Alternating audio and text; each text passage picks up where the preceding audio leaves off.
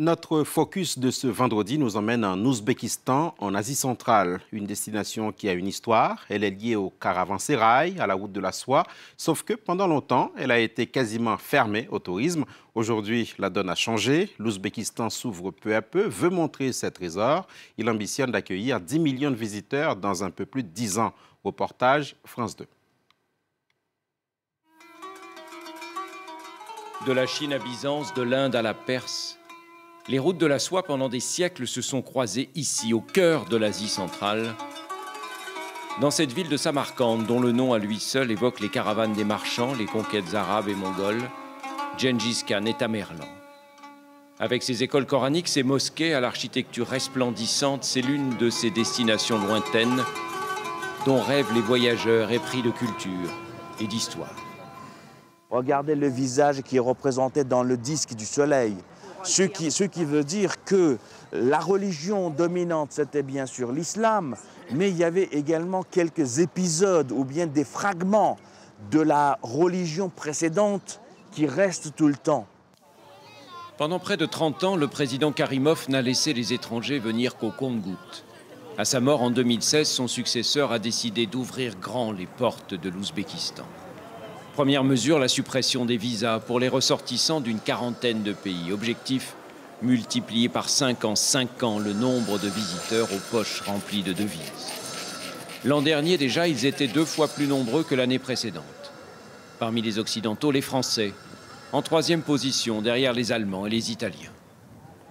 Je trouve c'est absolument passionnant à la fois l'Ouzbékistan, le peuple, la façon de, vivre, les gens. On ne s'attend pas à, avoir autant de choses et euh, d'aussi belles rénovations.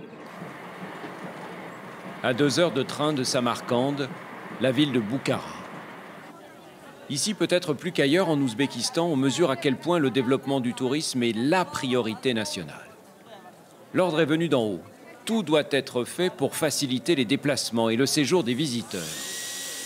Quitte à reloger à la périphérie et sans leur demander leur avis, les habitants des quartiers anciens pour tracer au cordeau des allées piétonnes et commerçantes.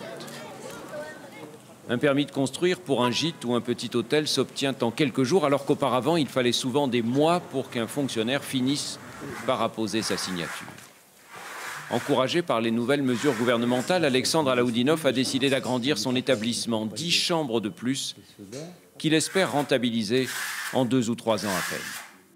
On voit que les responsables du quartier ou euh, personnes spécialement désignées pour viennent, nous posent des questions, qu'est-ce qu'il y a comme des problèmes, euh, et cherchent des possibilités pour résoudre tout ça. Mais ça, c'est nouveau.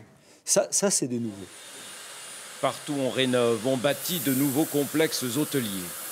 Les entreprises du bâtiment embauchent à tour de bras. Du travail, c'est ce qui manque le plus dans cette région désertique du Khorezm. Alors plutôt que de s'exiler en Russie comme tant de leurs compatriotes, de plus en plus de jeunes Ouzbeks se disent qu'avec un diplôme de tourisme, ils auront peut-être une chance de rester au pays. Bonjour les élèves. Les cours, comme ce cours de français, ont surtout pour objectif de former de futurs guides. Ils accompagneront les visiteurs à la découverte des trésors de la ville de Riva et de ses environs. Je m'appelle Muslima, j'ai 17 ans. Je suis née en 2001, le 20 avril. Les étudiants doivent parler en français, doivent euh, expliquer les monuments historiques aux touristes étrangers. Il reste beaucoup à faire pour que l'Ouzbékistan devienne un lieu de vacances à la mode. Mais sur la carte du monde, il a déjà retrouvé sa place, celle d'un pays à découvrir pour remonter le fil d'une histoire millénaire.